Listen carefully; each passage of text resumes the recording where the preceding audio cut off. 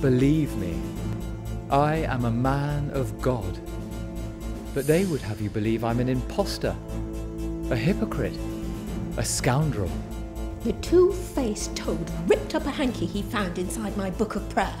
He said I was committing the mortal sin of mixing the sacred and the profane.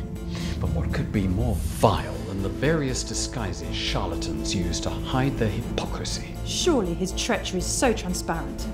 It's no foregone conclusion that he'll win. Too long I've kept quiet about the fact that the mealy-mouthed monster's destroying us. Am I really so very evil? My good, true friend. My son-in-law. What do I care for cousins, children, wives? Ah, what do you say to that? Amen. Who am I that is so blessed and yet so reviled? I am Tartuffe,